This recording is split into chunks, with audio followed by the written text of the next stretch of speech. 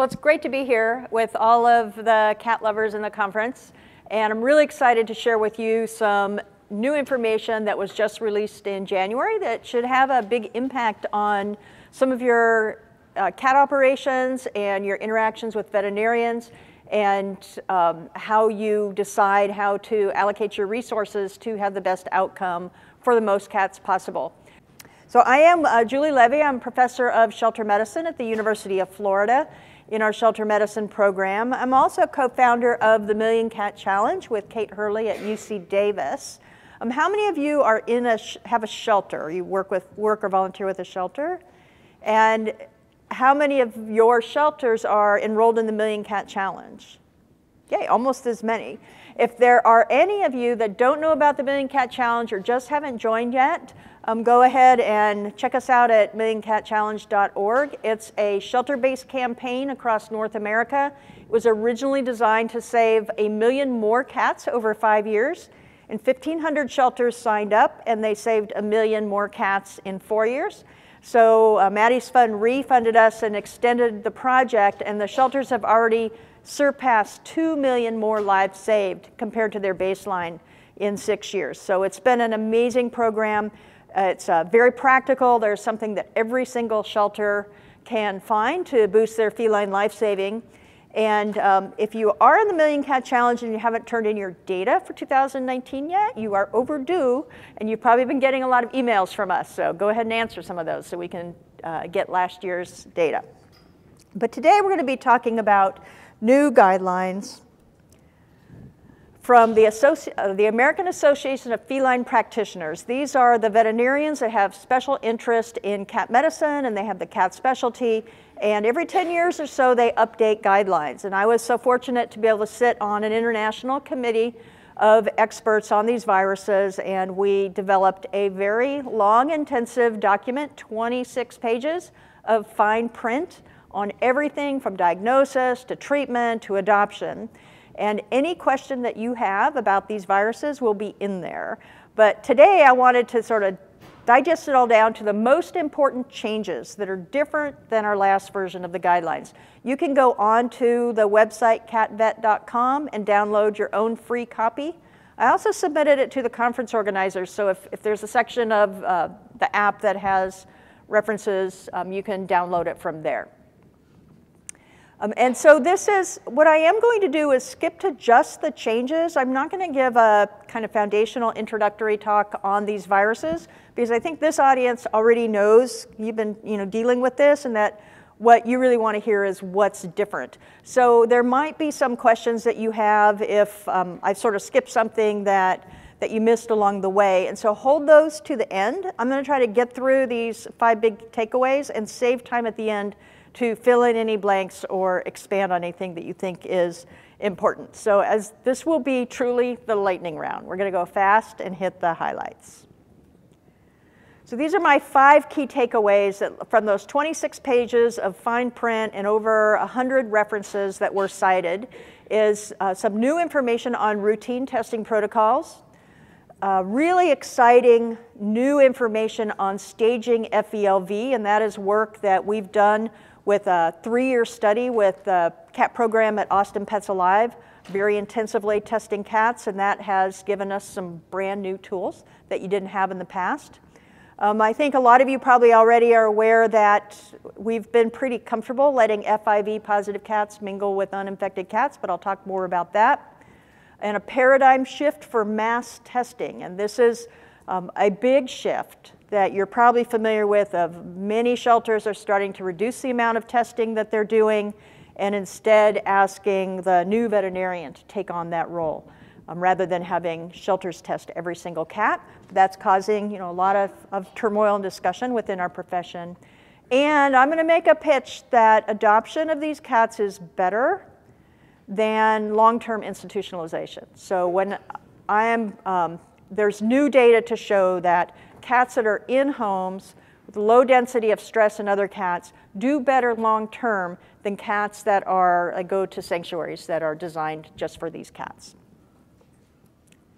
So first, I am going to give you just a little bit of a background so we're all on the same page. comparing FELV and FIV. They're both retroviruses, the same family of viruses, but they're quite different in uh, how the cat's immune system reacts to them and the kinds of diseases that they cause. So FELV we know is spread by just close intimate contact and body fluids. Most cats become infected with FELV from their mother. So there's an infected mother cat, she has kittens, and she passes virus in the milk or in the saliva by grooming. So we talk about it um, as FELV being a virus that you give to your friends. In contrast, FIV is spread primarily by fighting. So it's present in the saliva, cats bite, they inject that virus, and so we say that FIV is a virus that you give to your enemies. Kind of easy way to remember the difference with that. And we see a difference then in, in the kinds of cats that are infected. So more young cats we will see are infected with FELV because most of them were infected from their mothers. Um, and then with FIV, we see it almost always in the big mature male cats that are fighting.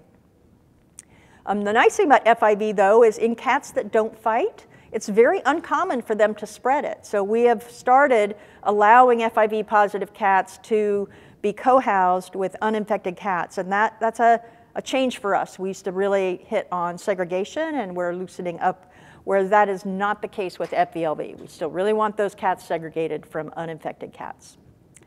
Um, the nuance of FELV that's going to be important to understand because now we can identify these subsets with, with advanced testing is cats that generally fall into a progressive stage or a regressive stage. And the, when cats become infected with FELV, generally the most common outcome is they have high levels of virus, they are likely to develop disease and early death more commonly, and they are more infectious to other cats. Or if they have a good immune response to that virus, they will suppress it to very low levels. They will not shed it very much to other cats, and they may live a normal lifespan. And in the past, we just sort of talked about these in theory, but you didn't have any way to know the difference. And the good news is now there's a test out that can tell the difference. So this just is a, a pointing out that this is really the new information that you'll want to dig into and also make sure that your managers and the veterinarians you're working with too understand that there's this new, um, new approach. This is a life cycle that shows the transmission of FIV. So you have these positive cats, they fight, they inject it into another cat, they become infected, but many of those cats will live their entire life without having any clinical disease. So we see lots of old FIV positive cats that die of something else, and they don't develop a condition associated with their virus. But we do know there is a subset that do, and the most common clinical sign that we see is stomatitis or oral disease in those cats, but there's some other things that they can get too. Uh, but early death is not something that we expect to see with this virus. So it is called sometimes feline AIDS because the virus is in the same family as HIV, but we don't see the same kind of disease developing in cats that we would see in people with HIV. The, the cycle in FELV is really quite different. So cats become infected with FELV, and then depending on their immune response, go to the path of having uncontrolled virus, that top level. So high levels of virus those cats are more likely to get sick and have short lifespans, or they can suppress the virus, in which case they can remain quite healthy and they don't shed very much. But what has been not appreciated very much until recently, until this study that we did with Austin Pets Alive, is cats over their lifetime can shift. So you can have a cat that is very happily living with a regressive infection, and something happens to its immunity, stress perhaps, living with a lot of other cats, becomes pregnant or has another condition, and its immunity wanes, and that can allow that virus to come back up and put them into that progressive category where we see more disease. So we need to retrain how we've thought about this. we are really tempted to try and put cats into buckets of positive or negative and think that that one test that we run at intake is going to be meaningful for that cat for the rest of its life. And unfortunately, we're learning that with FELV, we just can't do that. It's possible that we could test a cat at intake and it has a regressive infection and that virus is suppressed so low that we get a negative result. but that cat's infected and we just won't know. And then later in life, something might happen, it would come back up. And I'm sure you guys all have stories of that, of a cat that you tested negative and it had no exposure risk, and yet later it's positive. And there's a few different reasons, but this is one explanation. So we need to think of cats as being for their whole life. If they're infected with FELV, they're on this balancing act, and they can move back and forth depending on what's happening in their life. It wasn't quite the answer that we wanted. We did this big study funded by Maddie's Fund where we had 130 shelter cats from Austin Pets Alive, and we tested those cats with a panel of tests every month for six months. And our goal was, okay, we're gonna put all the uncertainty to rest. We're gonna determine what the best test is, and then we will tell you all how to test cats for FELV. And what we found was it was just so much more complicated than we understood. So here's what I'm going to recommend. I know that we all want certainty with our tests. We want to know what's the best test so we can say with certainty to an adopter, this cat is infected or it's not infected. And I can just take that burden off of you now, that you don't have to strive to achieve that because it's not possible. And in some ways, once I accepted that, um, was, it's kind of a relief because now I can just do the best I can. I can have a good protocol and accept that I'm going to be wrong a certain percentage of the time. So this is what I'm now recommending for testing. For most cases in shelters, I would suggest what I call a one and done screening protocol. So if, if you have a protocol that is testing cats, use a good test, use whole blood. This is a key. Whole blood is the best sample, and that is not what we used to think. And um, personally, I the IDEXX SNAP test is the best test, and we've compared them head to head, and it is the best.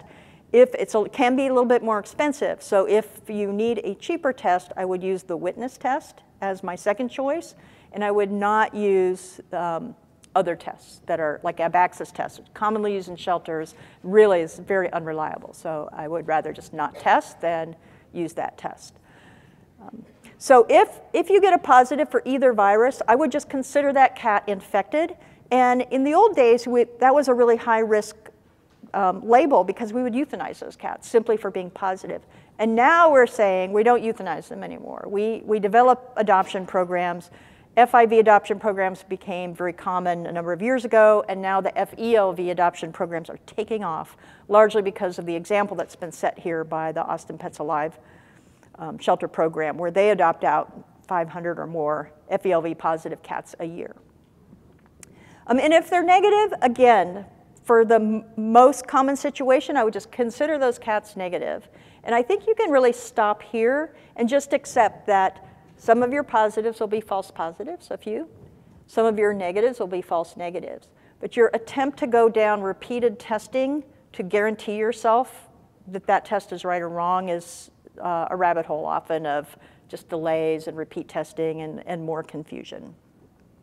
I have a little caveat here.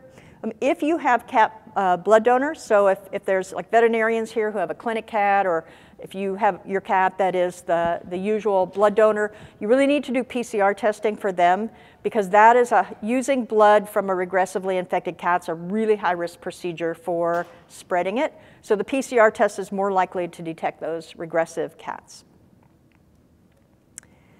However, if you choose to go down the path of confirmation or more certainty, or your original test is um, doesn't really make sense in the pattern of what you know about the cat, or maybe it comes from a really high risk situation like a hoarding situation that has positive cats in there, you can go to the second level of testing, in which case that's a PCR panel. And that's definitely one that you want to send to IDEXX PCR lab. It, it was really a very strong lab. They were partners with us in this research, and so we we understand the nuance of how these tests perform. Now, if your PCR test is positive, in a positive cat, that confirms your diagnosis, and you can be very confident because you've tested the cat two different methods, they're both positive, like the odds of both of them being wrong are, are quite remote. Um, similarly, if the cat was negative on both tests, you can be very confident the cat's uninfected. Not 100%, we can never get there, but very confident. However, if your screening test is positive and your PCR test is negative, you have to just say that's discordant and we don't know which one is right. I think in the past we've confused veterinarians and others because we call this a confirmatory test, that people always think that second test is the better one, and that's the result you should trust. That's not the case. It only confirms the same status. So if they're discordant, you're left with this bucket of cats that um, you just have to say they're sort of suspicious, but we can't say for sure. And just manage them that. And now that we adopt them all out, it's so much less pressure to try and prove these one way or the other. So some of the pitfalls that I see repeated in shelters that you should avoid are one, select the good test, SNAP test or the witness test. Please use the test the way it was intended. So the kind of the ways I see the tests used in ways they were not intended is um, like maybe pooling multiple samples into one test device to save money. Like if there's a weak positive, you, you can take the chance of just diluting that one weak positive in the group and know that um, like kittens may be mixed litters. So you can't just test one kitten in the litter and assume that that's the same. And it's also, you can't test the mother and assume her kittens will be the, the same as her. We have positive kittens that are born to negative mothers because the mom is regressive at the time you test her, but the kittens got infected. So just when you make, when you use a test is run a, a quality test. One test, one cat, record it all appropriately in the medical record. All right, now I'm going to go to the most exciting part. This is three years, quarter million dollars worth of research, a lot of mils of blood um, that were collected by the team here from cats that didn't always um, weren't thrilled about coming back every month. This is something like uh, over 100,000 test results that we had because we did whole blood, serum, plasma, seven different tests every month on every cat. And what this led to is a real breakthrough in understanding of FELV. And I did, um, I, am very happy to send these slides out to anyone who wants them, or I can give them to the conference organizers and they can distribute them. So don't worry about like memorizing the minutia here. So, but what we found is there are two tests that really rose up to the top as being predictive and co as consistent as possible one is that point of care screening test. It's an FELV antigen test paired with a PCR test. But the PCR test was not the original one, it, which gives you a pos positive or negative. It is a quantitative test. It tells you how much virus is in that blood. And that level turned out to be very predictive about whether those cats were regressively infected or progressively infected. And you can now stage cats yourself with this brand new test panel that IDEXX built based on the results of our study. So the way this would work is you would run, say, a SNAP test, and if the FELV was positive, you would then send that whole blood off to the IDEXX lab, and they would run an, a plate test for P27 antigen, and they would run the quantitative PCR. Now there is a, a, category that is called abortive, which means the cats, they have all negative tests, so we assume that they either have eliminated the virus, um, eliminated the virus. The only thing I would caution you about really diagnosing cats as abortive is remember the only component of the cat that we're testing is the blood. So if they have some virus in the spleen or the bone marrow or the GI mucosa, we're not going to be able to see that. So it's different than in the research lab where they, you know, necropsy the cats and test every tissue. All we're testing in live cats is the blood. So that's why we're a little bit conservative about saying a cat completely fought off the virus and it's negative now. But if that was the case, you would see that green cat, they're antigen negative, PCR negative, and we'd expect them to live a normal lifespan. Then if we go down to the progressive in the red, we see an antigen positive test they have a high level of PCR positive, a lot of virus. And these cats, we can predict, have a reduced lifespan, and they're more likely to shed virus to other cats. So they're most likely to be kind of those classic FELV positive cats. Now, this is on average, though, and we see cats that defy the rules, cats that we call progressive, and they're alive eight years later. So we, you know, we're doing broad categories here. But the most interesting thing now is the regressive cats that we can discriminate because of this new PCR test. So we can see two different patterns. They can be negative on the antigen test and have a low positive on PCR or vice versa. A low positive on PCR and um, positive on, or a negative on the antigen test. And those cats, they may develop some clinical disease or they may just live a normal lifespan. A challenge of really being able to tell you that today is the only cats that have been followed over their lifetime are experimentally infected research cats in Europe. So what we know about the lifespan of cats is based on a kind of an unnatural situation, like a dozen cats. But we're following these cats out now, the 130 cats that we've had in our study, for their lifetime, and we're three years into it now. And so this is really exciting news that is brand new for you. So we've just got this um, information, and I'm sharing it with you. It's not published yet, but what we see in this graph is called a survival curve. So we start out at 100% of the cats being alive. This is over three years time. And it, the curves are how many cats are still alive. So those cats that fell into that abortive category for us, there were only 10 of them, but they were all still alive after three years. The cats that were infected but fell into that regressive category, 80% of them are still alive after three years. But those cats, 85 cats that we determined were progressive, um, less than half of the cats made it three years. So you can see now that you've got prognostic information in your hands, that you can just submit a sample to a diagnostic lab and make some predictions about the outcome of that cat, which you could never do before. So I am also going to just show you the reason why we are a little reluctant to say anything with certainty because we get these patterns. So these are some of the cats um, from our study. And you can see that uh, each row is a month, and we tested these cats for um, six months every month, and then we came back like every six months kind of randomly and tested them again with all of these different tests. And this particular cat is um, positive sometimes on, um, for antigen, um, always more, more likely to be positive on whole blood than serum because it's more accurate. And um, this cat was always positive on PCR, but a low amount of PCR. So we call this cat regressive, and he, he stays regressive the whole time. So he kind of follows the rules. Similarly, this cat is a progressively infected cat, and it's always positive across the board. So this cat follows the rules for being progressively infected, except that his survival is pretty good. We have he's still alive and um, two years out, so we're seeing good survival. But so this cat is not a challenge to us. But here's another example of a cat that, you know, they just don't follow the rule. This cat actually kind of changes its status between regressive, progressive, abortive, regressive, and then at the last time point at three years was discordant, it didn't even match up. So this is what, you know, these kinds of results are what give me, like, let myself have a break to say, I, I can't be certain on these cats. And so you can let up also chasing answers that really can't be had at this time, if that makes sense.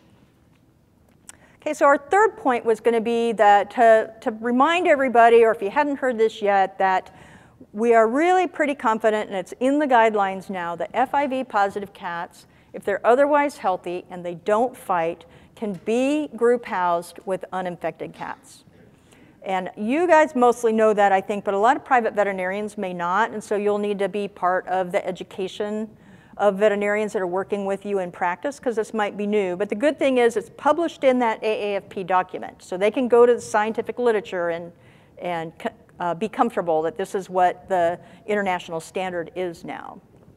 So what this means is if you group house cats, well, some shelters have just given up testing for FIV altogether, and they group house cats um, because now they, they know that that's okay. Or you might you know, free up your adoption rules to say, I will adopt cats into, you know, uninfected cats into a, a house that has FIV positive cat, or vice versa. Adopt your FIV positive cats into negative households. So that's okay. A really good study actually from a few years ago by Dr. Annette Litster that showed this. She followed cats over five years that were in a, a cat sanctuary and they had positive and negative cats that were mixed together. There was no transmission over that five years. That was really a landmark paper. However, what she also found was that cats that were in the sanctuary did not live as long and they developed more lymphoma and they developed more uh, uh, stomatitis and other diseases than FIV positive cats that were adopted into a home alone or with one other cat. So this is where we start to develop that, you know, kind of intuitive, it makes sense that cats that are in a home environment are generally gonna have less stress, less comorbidities than cats that are housed in unusual numbers together in uh, um, often restricted environments. And the same, there's a, a, new paper that was just published about FELV as well with the same thing. The outcomes of cats long-term were better in a home environment than in a sanctuary environment.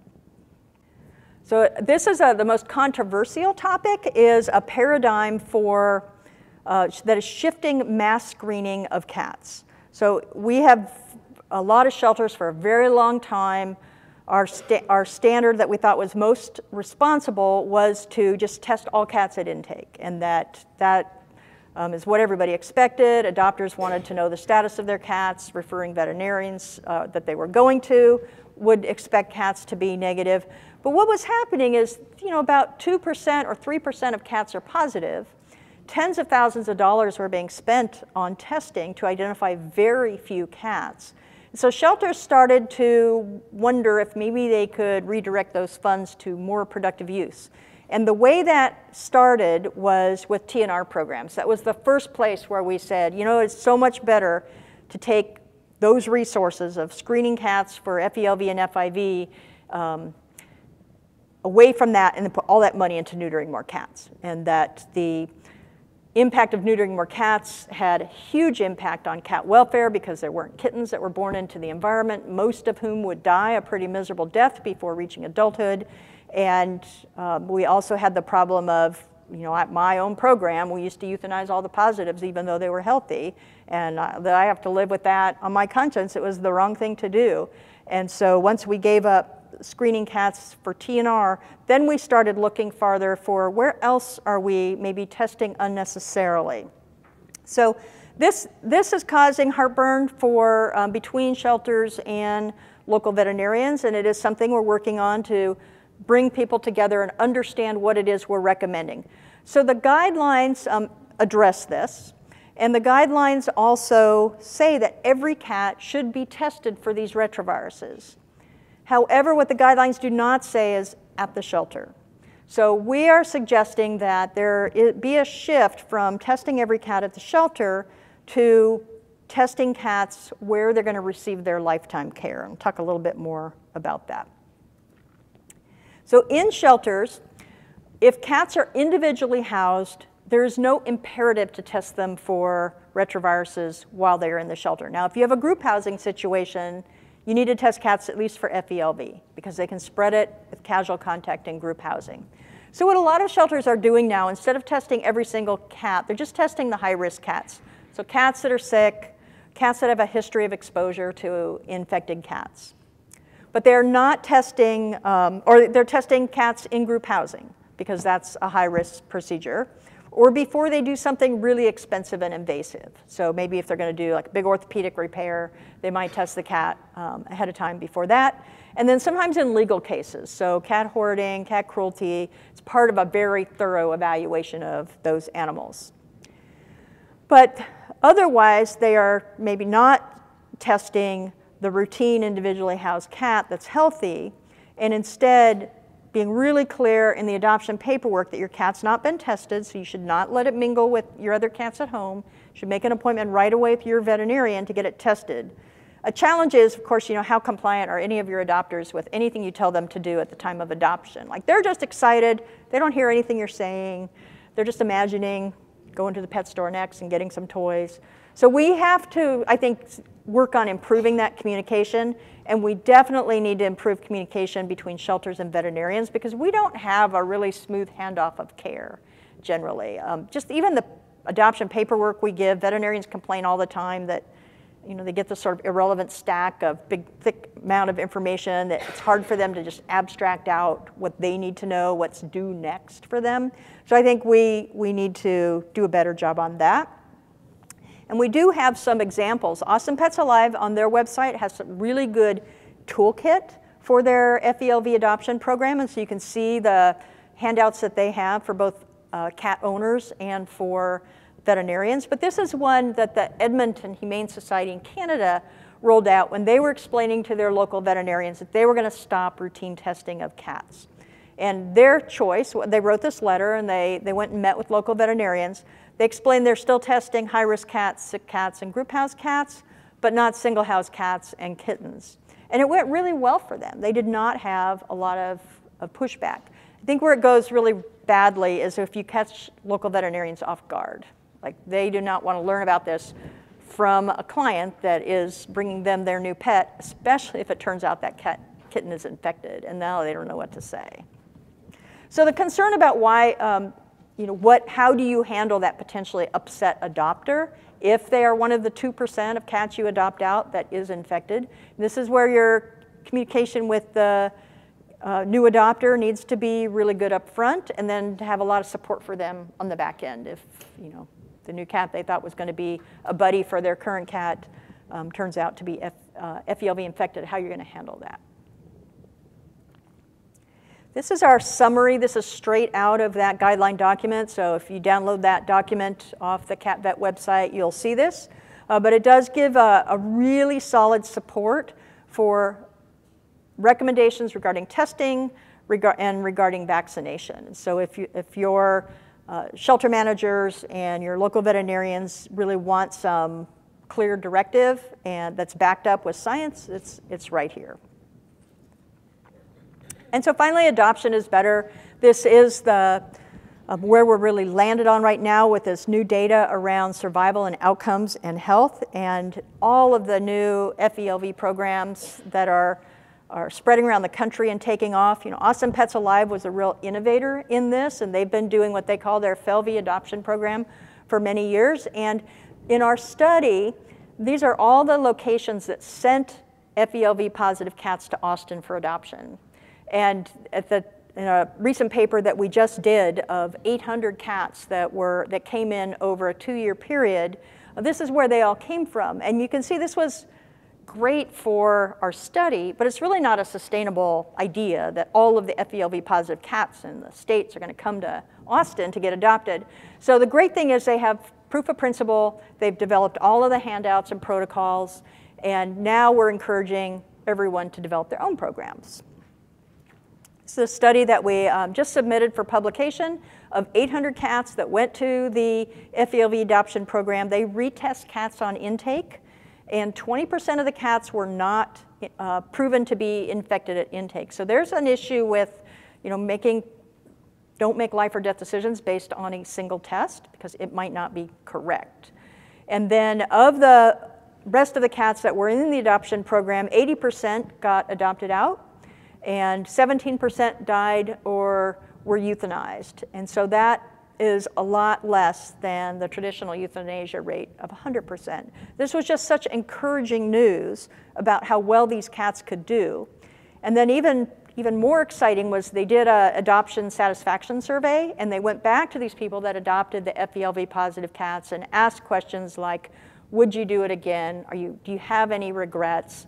You know, what, what was your satisfaction level? And we found that uh, the vast majority of people who adopted these cats had the experience that they expected. They were very proud of having adopt, adopted a cat, and they would do it again. And so, and so, that's the Austin program. These other programs are popping up. This is one at Tree House Humane Society in Chicago, and I just I put this up there because I love their signage. It's so positive. This is how most programs start is there's some cat or foster parent that there's positive cats and it was protocol to euthanize them in the past. And then there's a cat everyone fell in love with so they pilot an adoption program and they find out it's not so scary after all and then it just takes off. And that's exactly what happened. Their pr department made this sign for a litter of positive kittens that was super cute. In fact this is them. And that they adopted those kittens out right away and that was the beginning of the treehouse adoption program. And they have these, this excellent fact sheet, again, making sure people are really well educated. And this went so well, they had built a, they got a new shelter and they had built a cat cafe in it, and they turned it into an FELV cat cafe. So the only cats in the cat cafe are the F, FELV positive cats. So it's what a great way to showcase cats that maybe need a little bit more marketing. And they're not the only ones to do it. This is, has anyone been to this Neko Cat Cafe in Seattle? You sent a cat there. I just, they have the best website, and it's not just a cat cafe, but it's a wine bar too. And um, their whole organization is just about running this cat cafe uh, for FELV positive cats. And as you would expect for Seattle, it's very hipster, cool, nice, and you should visit their website. And this is just um, what it looks like. And I look at those tables. Just desperately want one of those tables. and who would want to hang out there? So, so this is um, a quote from Dr. Sheila Segurson, who's the scientific director at Maddie's Fund and was the one that really envisioned this study that we're doing and has led to all of these amazing results. And it is so true. This is one of the FELVs from Austin Pets Alive, is that people are adopting these cats, loving them, and not regretting it. And I do have to thank uh, all of the people who made this possible. This is an enormous research team, funding from Maddie's Fund, uh, support from IDEXX Pets Alive, the amazing, uh, from IDEXX, and then the amazing team of uh, folks at Austin Pets Alive that actually handled the cats and collected a lot of blood for us, and the Winn Feline Foundation. So with that, I think um, we have some time for questions. Um, so I, I, work at a cat sanctuary. We do group housing, and right now we are retesting on intake and then at 30 days. Um, I guess I was wondering, is that what you would recommend? So the 30-day testing is to catch those cats that might have been just recently infected that you miss on the first screening. And so the chances in a whole cat's lifetime that you're gonna like pick it up in that few weeks just after it got infected are pretty remote. So we don't generally recommend that, with the exception that, like if they came in with an abscess, like, oh, you got bit by another cat that was aggressive, um, or maybe a hoarding case where they were mixing up cats, and so you know that there's more ongoing um, exposure. But otherwise, I would say I probably would not, and, and your, your data should inform that. Like, are you getting a lot of positive, or more than ever getting a positive at 30 days. we we, we had one. Yeah, so, so, one is probably not worth it to design a whole accept, uh, program around the exceptional case. Um, what I would say though is hopefully your cats don't stay 30 days. Like we're all about now reducing length of stay, getting cats like in and out of the shelter as soon as possible so you can save more cats.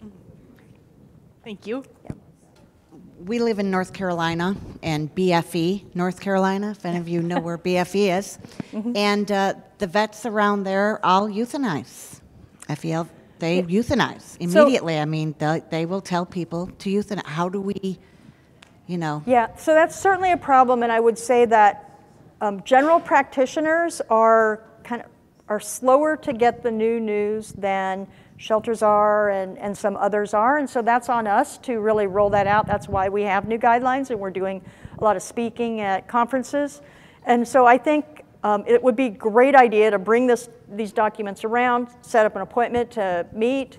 Um, we've got webinars on this that they can do, but really like get out there and have some face-to-face -face conversations to bring everybody up. It's kind of hard to have that productive conversation about a cat that's tested positive because then everybody's reactive and defensive. So going out and saying, hey, it's new, brand new information from the cat vets, and this is uh, what we're doing now. But also on Sunday, when Monica and I have a session together, we're going to talk about um, working better, more productively with veterinarians. Hi, we have a rescue in Wichita Falls, and we pulled a cat from our local uh, shelter, uh, our city shelter, and it ended up having FIP. And so there's some new developments with that. And actually, one of our, our foster who has her actually has done uh, the medication, and now there's like an 84 day period.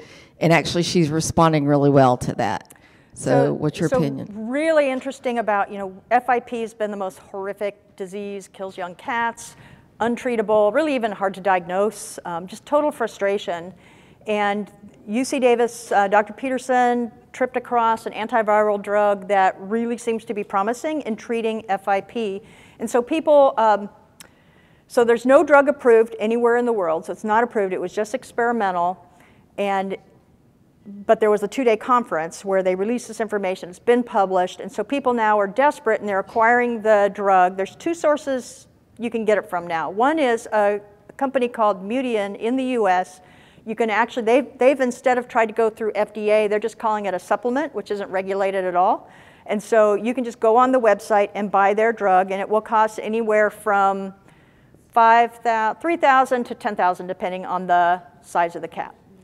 So pretty big. The other way you can get it is to take your chances on the Chinese black market, where they are duplicating these drugs, and that is where most of the people were getting their drugs. And so it's a little bit cheaper, and we were seeing really good um, responses for a lot of cats. If you are interested in this, fascinating story. Facebook group called FIP Warriors. It's got 15,000 people on it now that are treating their cats, and the admins are really good at talking people through it and um, sharing drugs around. These drugs are hard to get. So it was weird enough as it was. Now it has gotten super weird because this drug looks like it probably works against the Chinese coronavirus. And so there is, so now we have a pandemic um, of coronavirus that is killing people with a drug probably that works. So it's being fast tracked evaluated for that, which means I can't see why these companies would sell it to cat owners when they could you know, distribute it to people dying in China. And there's already been one well documented case of a, a, whole shipment of the Chinese drug, which is being shipped to the US illegally for these cat people, um, of it being adulterated, or it was just fake. It didn't have any of the drug in it. Cats that were being treated relapsed, and some cats died because it probably had toxic stuff in it too. And so when it was analyzed, there was no drug. And the explanation was their shipper swapped it out, and that would be like believable because you could probably sell it on the Chinese black market for a lot more than you could sell it to cat people. Or they just weren't, you know, nobody's regulating this and looking at the manufacturing. So I, I think that's an incredibly fascinating story. It is like the beginning of the AIDS epidemic when AZT became available, but it wasn't approved. And so these patients who were going to die without it found ways to get it illegally and, and establish buying clubs. And that happened a lot faster than the regulatory approval process could. And we're seeing the same thing with coronavirus. Well, she's responding really well. Yeah, and is Natasha here? So Natasha um, was running the FELV the FELV program at Austin Pets Alive, and so she's got, um, FIP is the most common reason they were euthanizing cats in their FELV program. So she's tracking like five cats that have FELV, and they're all responding really well too. So we don't know if their long-term outcome will be as good, but it's, it's really encouraging. Um, I'm amazed that both of our, we have two local vets that work with our rescue, and they're giving um, some B12 shots or mm -hmm. something like that and they're really interested to see how the results are. And the medication she got is guaranteed that if it doesn't work and she gets sick again, they'll provide the medication. Yeah, that's the Mutian. It's more expensive, but it comes with that guarantee. But I also like, they presumably will also divert their drug soon to human treatment, I'm guessing. Any other questions? Yes. Um, how did you choose your, your feline um, leukemia test. You were saying not to use the Abaxis? Um, yeah, so good question. How, how has that been validated? And what we did was we, we took 300 samples, half of which um, we had confirmed for FELV by other methods, and then half of which were negative, and we blinded them, all, so we numbered them with codes, and then we just lined up all the tests, four different tests, and tested them against their known outcome, and then, then we could tell which ones performed the best. So the SNAP was the best, the witness was a close second, and Abaxis was like flipping a coin. And we've, I've had that problem too with Abaxis tests for um, uh, Parvo. We've, we have investigated like outbreaks of parvo, and when we got into it and started sorting it out, it wasn't an outbreak of parvo, it was a false positive with their parvo test. And one thing I should say, that's kind of, you reminded me, is Abaxis tests have been purchased by Zoetis, which also has the witness test. So now they are selling both, and they're, so I don't know which way they're gonna go, but um, we really, SNAP test, the IDEXX test. Probably the witness test, I, I think, is probably good as well. Um, it's just those, I just ha don't have confidence based on our field experience and that one study we did on FELV with the Abaxis tests. Hi, I have a yes. question. Um, you didn't mention anything about batch testing kittens. Um, with feral litters that we bring in or that come in pretty early in their life, a lot of times we just test one. Um, your thoughts on that? Yeah, it's just a really risky procedure to just test one cat in a litter because you can have two out of four kittens be infected. And so randomly, if you just pick one and assume that all of the, the kittens have 100% the same result, you, it's just not how it is. And similarly, we've had cases where the mom tests negative, but then later we test some kittens and they're positive, or vice versa. Mom's positive and the kittens are, are negative. So you, it's really kind of inappropriate probably to test one cat and extrapolate it to other cats. I've seen people do the similar thing with uh, TNR colonies too, where they'll test, you know, half a dozen cats out of um, uh, the 50 or whatever that's in a colony, and it's even in TNR cats, the prevalence is so low that you can't really reliably sample a few and extrapolate it to the rest of the colony. So it's really much better to not test at all, or test one test per cat. There's some folks in the back there that have been waiting. You said that um, the FELV vaccination, you wouldn't recommend doing that unless they're um, several housed together. What, what constitutes?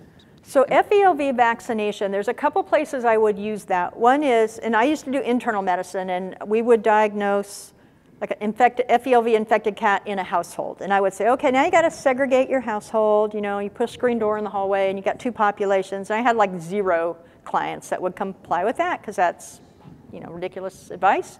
And so that is a group we would recommend vaccinating all of the uninfected cats if a client is going to keep their positive cat in that household. Um, I would not recommend if they have a negative household to intentionally go out and get a positive cat and I think most people avoid that, but sometimes you just end up with one accidentally. Um, and then the, for the FELV vaccine to work, you actually have to give both vaccines. It's not one that works after one vaccine like a Panleuk vaccine does. And so you, you, they have to be planned to be in your shelter a reasonable amount of time before they're going to be immune, so probably like a month. And so what I would recommend is if you have a cat sanctuary, a lot of cats that are commingling, I actually recommend vaccinating those cats against FELV because that's where suddenly these regressive cats can start to be a threat.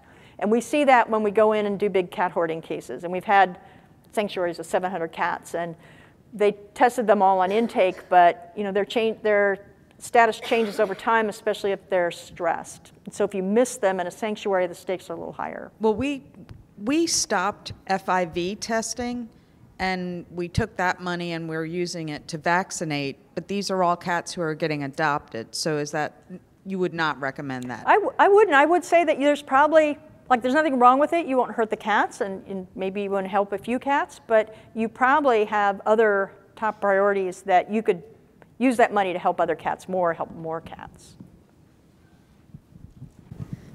Congratulations on your study. It's great. Um, it looked like, based on your cats that you followed for three years, that the majority were that were positive were progressive. Are you finding that more progressive, and are you seeing any patterns with the progressive cats? Like, for example, are they mostly adults that are progressive, or any trends? Yeah, good question. So we had um, over half of the cats that were of the 130 cats in our study fell into that progressive camp, and and so it's tempting to go, oh, most cats that become infected are progressive. However, if you think about how our cats came into our possession for this study, they're screened at some other shelter and they're positive, so they get sent to Austin, and then that's our study pool. So it's not a random sample of cats. And the thing is, for those cats that are abortive, so say they become infected and then they fight off the virus, that happens in just a few weeks. So that just your chances if you test a cat at some random point in its life, you're going to miss that. And you will never have known that that cat ever was infected. So that's going to underestimate the number of cats that have abortive infections. And similarly for the cats with regressive, because sometimes their levels fall below the levels of detection, that we may test those cats at times and they'll be negative, and those cats are not sent to Austin, right? Because they, they had a negative test at intake. So it isn't entire, it really isn't known like if you just um, become infected with FELV, what proportion abort, what proportion are regressive and what proportion are progressive. We're gonna, it's gonna be easier to diagnose the progressive ones, so they're gonna look overrepresented, if that makes sense. Thank you. Yeah, it does. Hi. Um, nine cats came into an open admission shelter, rescues pulled. Three out of the nine tested positive. So the rescues were going to hold on to the ones that are negative and we're going to retest in 60 days. But here's my question if they test negative again, and talking with the owner, they were allowed, they weren't separated. So they were, they were definitely exposed. If they come back negative again, or do you maybe do a PCR? What would your advice be? Um, it- So I think that that's a very diligent approach to detect the vast majority of cats that were going to be infected. If you wanted to go all out, you could do the PCR um, one and just like be super diligent about it. I'm not exactly sure what the cost of that is. Uh, They're hi- highly subsidizing that test, so it's probably in the $50 range. So really not like w- way out of range for something that you could do three cats or six cats, how- however many it would be. Um, So I think you could go either way. Just retest the cats with whatever you're using in-house, and if they're negative, declare that they're negative. I do think it's kind of the responsible thing to disclose to adopters that they came from this positive environment. We've tested twice. We think they're negative. And similarly, if you ever had a positive test in the past and then they tested negative later, I would still disclose that there was a positive test in the past so that people can make fully informed decisions. I will tell you, like, another reason I'm, I've kind of let go of needing to be 100% certain is uh, experience I had, which will shake your confidence overall. So I had a, a mother cat and her eight, four eight-week-old kittens. And I tested all of them separately with a SNAP test. The kittens were all negative, and the mother cat had a weak positive, but the negative control didn't work. So there's funky tests. And so then I, I tested them all with a Synbiotics test, and they were all negative. So I separated mom from the kittens, and every month I tested them all with a SNAP test, a Synbiotics test, and uh, IFA at that time. And the kittens were always negative, and the mom just would only have this occasional weird test on a SNAP test, but be negative on everything else. So I did that four times, so now the kittens are six months of age. I adopted them to four separate houses, and we adopted mom as a single cat because we didn't know what she really was. So at six months later, so now the kittens are a year old, I get a call that one of the kittens is dying. Uh, she's FELV positive and she's got anemia, fatal anemia. So I brought in the other three kittens that had all gone to separate houses and tested them, and they were all positive. So I'm certain those kittens were infected the whole time I had them, but they were acting regressive. And for some reason, that virus liberated itself later and caused disease. So like it just shows I, I was working in a research lab. I could do all of this testing that was absurd for people to do in the real world and still i couldn't be perfect with it. So just understand that you can get really close to 100% certain but you can't get all the way there. Thank you. all right. Thank you